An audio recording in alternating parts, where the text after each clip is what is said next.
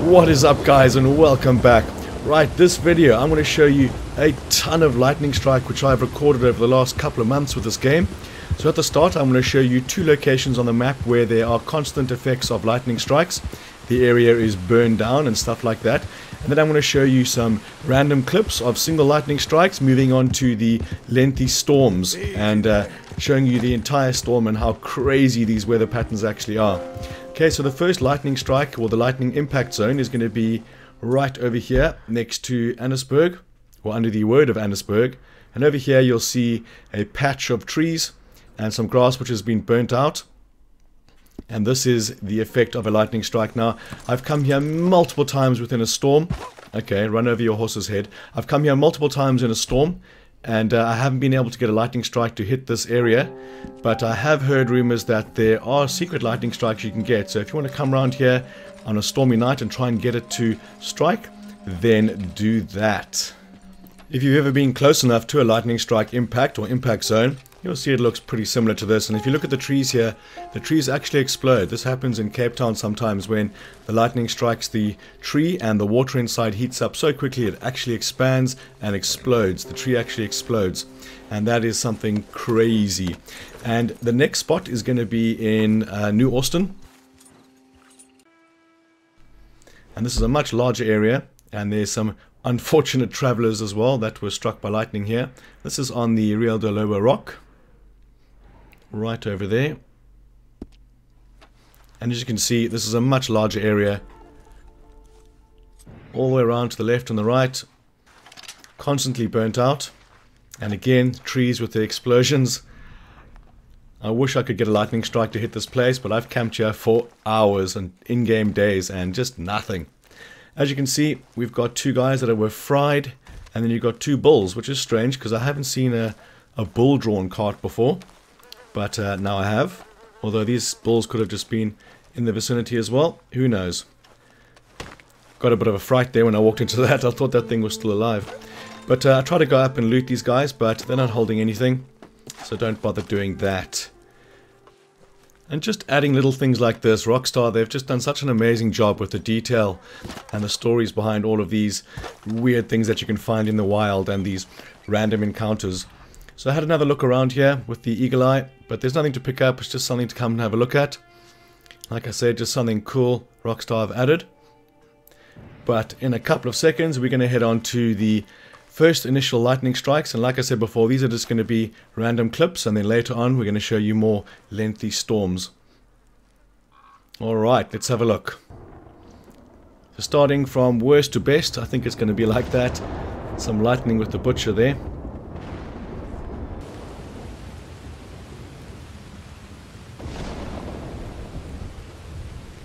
Some of them stay for such a long time. Now my favorite's going to be in the swamp area. Um, because of the trees and everything make the lighting look so much better. But distance lighting like this is also pretty cool.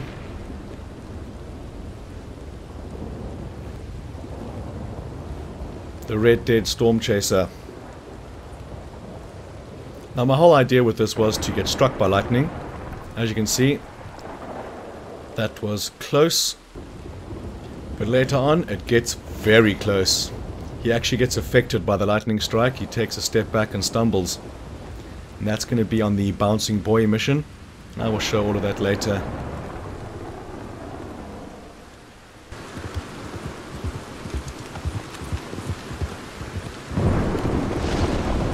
Two massive ones there behind the trees. I think this is also the Bouncing Boy. Crazy sheet lightning there. A bit later as well, I'll show some of them in slow-mo. Gives you a very nice viewing angle of these things and how they come out of the sky and how they actually progress through the cloud and into the ground. And they actually show some impact sparks as well, which is mad.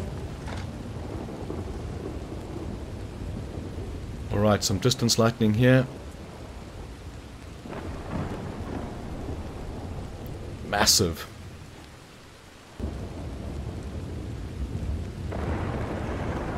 It's always good to face the storm if you want to go check out some lightning. So the clouds are coming from my right. I should be facing that direction.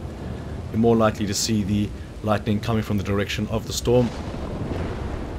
awesome ones there. And I felt those two merited a slow-mo.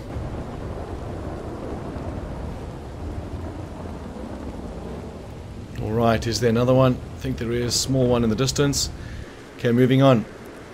It's going to be so much better at night as well, obviously. Especially when it's heavily overcast all around, because a lot of the time you'll have a storm in the distance. As you can see there, check this out. Look at that impact zone. Whack. Amazing, amazing detail. It's so far away as well. Okay, same area. Perfect viewing point from this angle. And some more sheet lightning.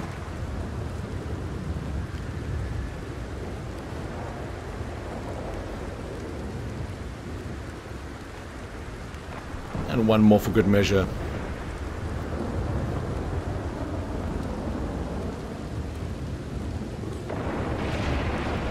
Just missed that one to the right hand side, that was fairly close.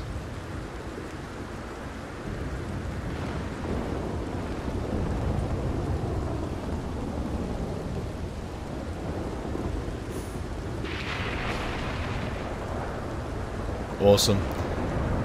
I think I recorded in total of about maybe two and a half, three hours of lightning strikes.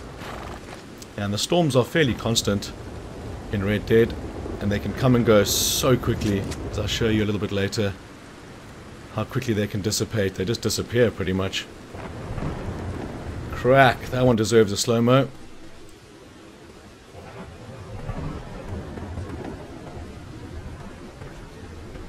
just amazing okay I think we move on to the next one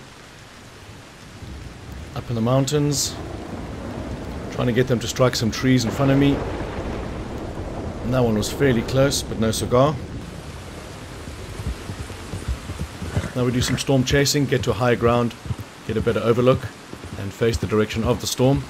I'm not sure if I knew that at this point.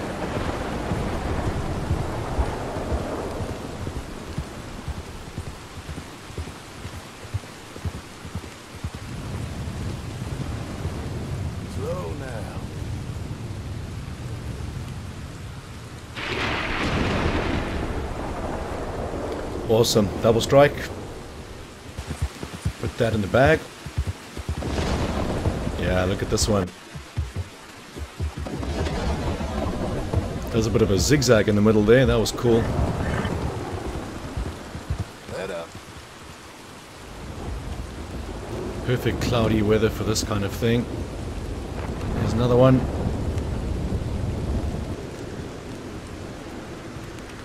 This one arcs my head perfectly.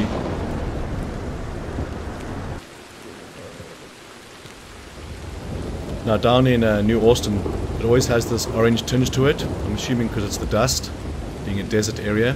But this particular one I'm playing slow-mo. Now look at the lighting on the mountain and around the surrounding area. Absolutely perfect. Crazy. Well done, Rockstar. I think Bethesda could take a couple of hints from you guys. I think the Fallout 76 is going to be free, which sucks massive dick because I paid 60 bucks for it, and now it's 22 pounds a week later, and now it's probably going to go free. But uh, the less we speak about that, the better. Some awesome multiple fishing strikes. Cool. And this was back in the day, fishing for the legendary catfish. And yes, congrats Rockstar, you catfished us. Now the next one I'm going to do in super slow-mo. Because it's massive. That might just changes direction.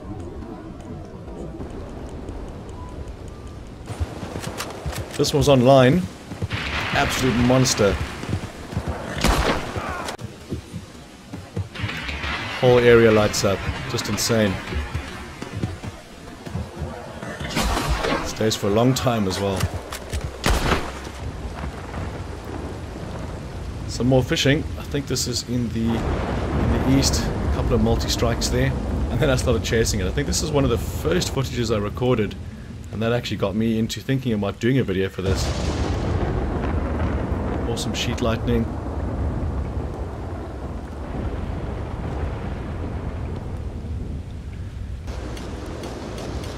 Now this is on the Bright Bouncing Boy mission, and this is when you can get a lot of lightning strikes. It's a pretty much a perpetual storm. It won't stop until you finish the mission. So this is when they strike now. This is very unfortunate. After all the effort I put in, I missed the lightning strike that hits the tree straight in front of me. So I look down to try and find the spot to put this rod in. As I do that,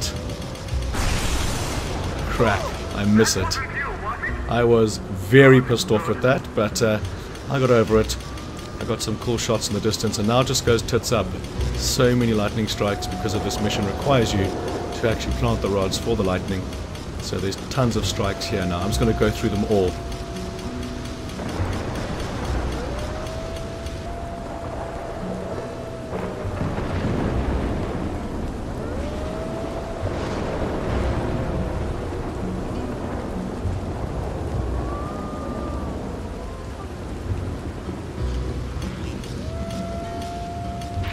The next one is one of the first ones that actually affect me right there. Crack. Take a step back. Have your eyebrows singed and the feather in your hat burnt. Show some in slow motion on this one. See this one I show in slow motion because the exit of the lightning from the cloud actually changes the thickness because in the cloud you can only see the core strike, you can't see the glow and as it exits the cloud it goes into a more a fatter glow. So much detail again, it's crazy. That was pretty much next to me, it doesn't get affected.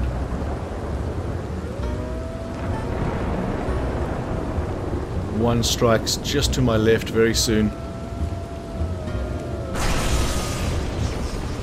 That one was the right. There is a left, that's also crazy, very close. The closest I've come I think on that one to being struck and then bang on my left. I thought I was going to get a hit for sure. I actually started holding my gun up in the air when you push the D-pad down to try and let it strike that. But it didn't happen. Again, right next to me.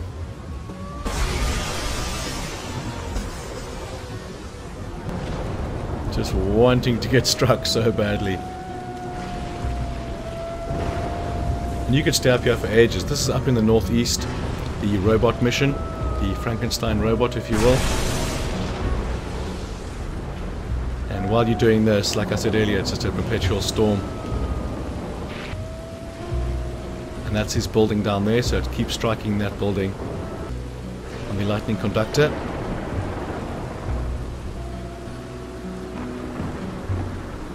But I could watch it for hours, just like in real life. More time, boy. Now you head back down on the mission and you can stand right underneath this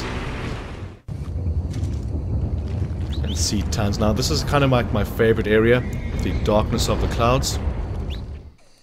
And I'll show you a little bit later one that's coming through on uh, Blackwater, which is just mad.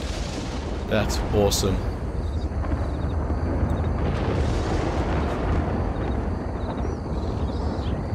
But this particular storm is not moving very fast, or at all. So it'll take a long time for the lightning to get to you. But it does look pretty cool from a distance, even the sheet lightning. Okay, back up in the mountains. Massive crack there. Start grading them.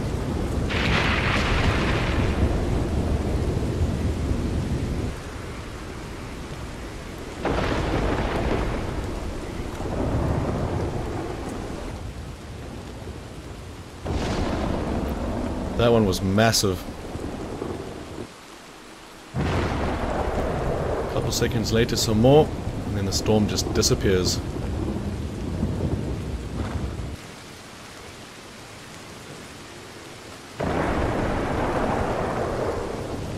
Just like it's striking my head.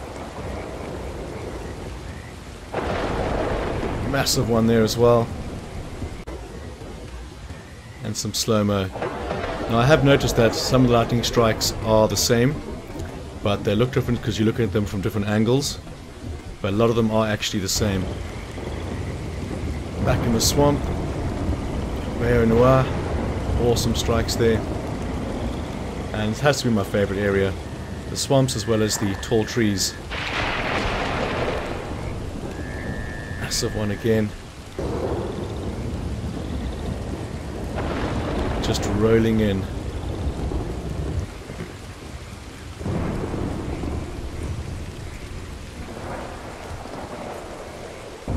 Alright, we're coming up to the crazy storm soon.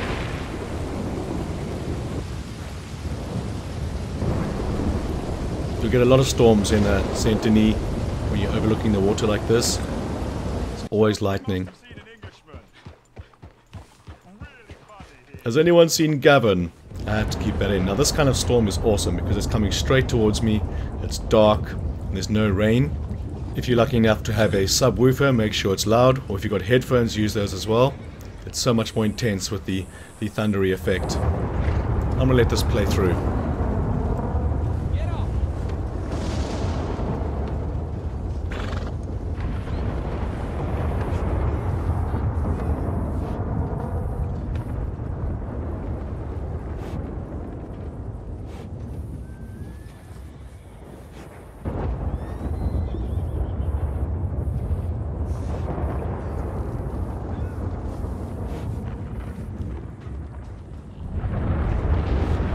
Now it starts going a bit tits up. It pretty much strikes that boat right next to me.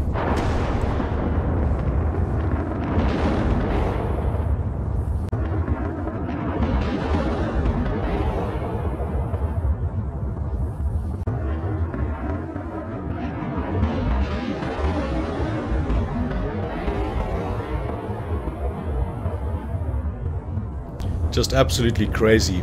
Alright guys, that's going to bring us to the end of the video. I've got tons more videos on the way. I've got the Resident Evil starting tonight, then the Kingdom Hearts, and then the Metro Exodus.